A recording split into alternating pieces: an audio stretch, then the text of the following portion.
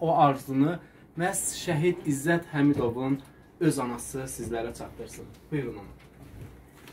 Mən istərdim ki, mənim oğlum, bir oğlum şəhidim oldu. Və uşaqlıqdan həmişə arzum idi ki, Elvinə polis formasında görüm.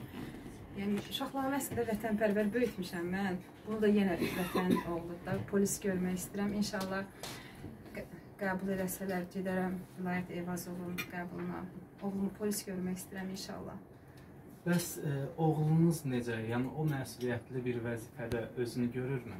Hə, görür, istəyir, onun da arzusudur. O da istəyir.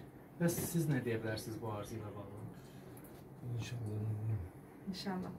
İnşallah Allah qismət eləyərsə və biz də e, burdan e, o müraciəti çatdırırıq. Bu şəhid anasının müraciətidir və ümid edirik ki, dövlət başçısı, ali baş komandan təbii ki, bax bu arzunu izləsə biləcək təbii ki və bu arzunu həyata keçirəcək və biz e, ümid edirik ki, bəzi e, orqanlar bax bu şəhid anasının müraciətini eşidəcək və öz övladını məhz o formada görəcək. Biz buna ümid edirik və inanırıq.